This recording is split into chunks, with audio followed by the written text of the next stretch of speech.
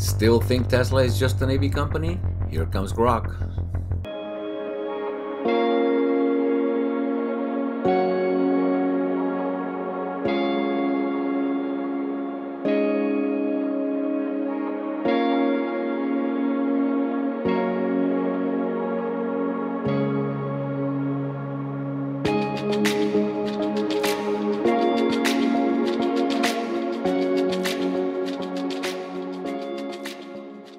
Welcome to my channel, Rudy Romo here. In this video, I will explain what Grok is to the best of my knowledge and the multiple features that sets Grok apart from other large language models and how those features could be yet another windfall for XAI and Tesla. On XAI's website, Grok is described as a humorous AI modeled after The Hitchhiker's Guide to the Galaxy, the seminal 1970s radio drama and satirical sci-fi book series by UK author Douglas Adams. It was adapted into a major movie in 2005. The current Grok version is beta and it will eventually be available to all XApp Premium subscribers. Grok is a large language model.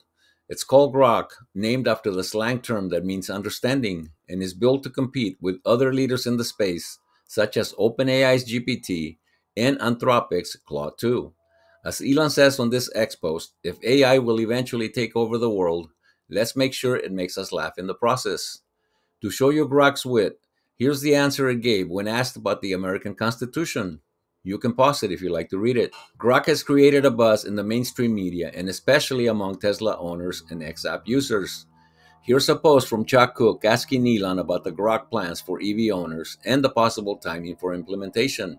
The XAI team is said to have made significant improvements in reasoning and coding capabilities enough to create a new model Grok 1, which is a frontier LLM, powering the Grok chatbot client, similar to how OpenAI's GPT model powers its ChatGPT consumer facing experience. XAI also posted a chart showing Grok's performance in four categories of machine learning, benchmarks, and tasks, including middle school math, multiple choice questions, Python code completion, and math problems written in LaTeX. Here are at least 10 key features that set Grok apart from other large language models. Number one, Grok will answer all questions. Grok is trained on a massive data set of text, code, and video, which allows it to answer a wide range of questions, including challenging and strange questions. Number two, Grok will have a wit, humor, sarcasm switch that can be turned on or off. Grok can be configured to generate different creative text formats, including jokes, humorous stories, and anecdotes.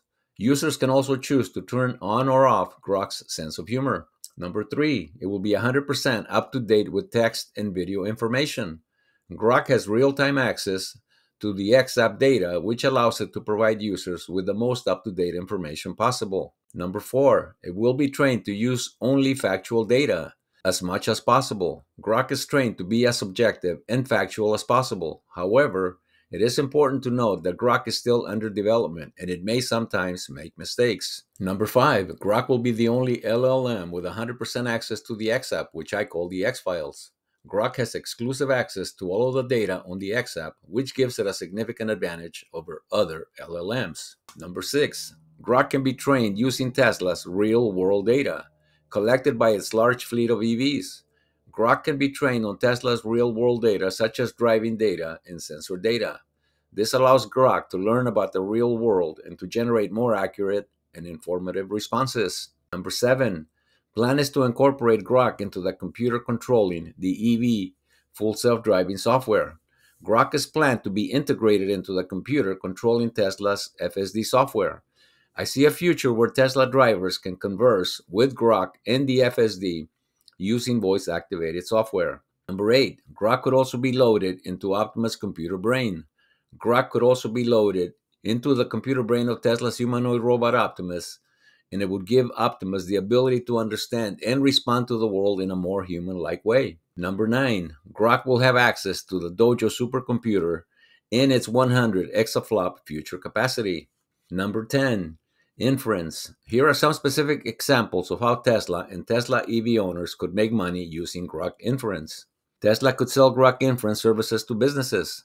For example, Tesla could sell Grok Inference services to businesses that want to target Tesla owners with advertising or that want to get insights into Tesla owners' driving habits and interests. Tesla could also use Grok Inference to improve its products and services. For example, Tesla could use Grok Inference to improve its navigation app or to develop new features for its full self driving software. Tesla EV owners could use Grok Inference to generate their own income. For example, Tesla EV owners could use Grok Inference to develop new apps or services that they could sell to other Tesla EV owners. Overall, Grok Inference has the potential to be a valuable tool for Tesla and Tesla EV owners.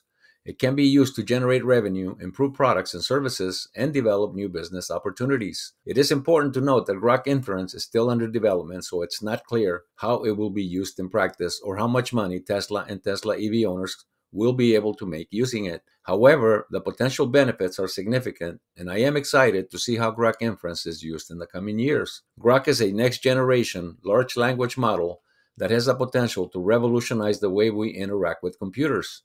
It is more comprehensive, informative, accurate, engaging, and enjoyable to use than other large language models. Grok has the potential to be used in a wide range of applications, including search, education, customer service, and entertainment. I am excited to see how Grok is used to develop new and innovative products and services. I believe that Grok has the potential to make a positive impact on the world and I am looking forward to seeing how it is used in the coming years. In my opinion, Grok will be another key feature that will give Tesla's EVs and Optimus huge advantage over the competition and will catapult Tesla to the largest market cap known to mankind. And thank you for watching. If you enjoyed the video, please hit the like button, share, and subscribe so that YouTube algorithms will get it to more people. If you disagree with any of the points made, or if you have any suggestions on how to improve future videos, please comment below. The material and thoughts shared here are based on my own personal research and factual to the best of my knowledge. Please do your own research.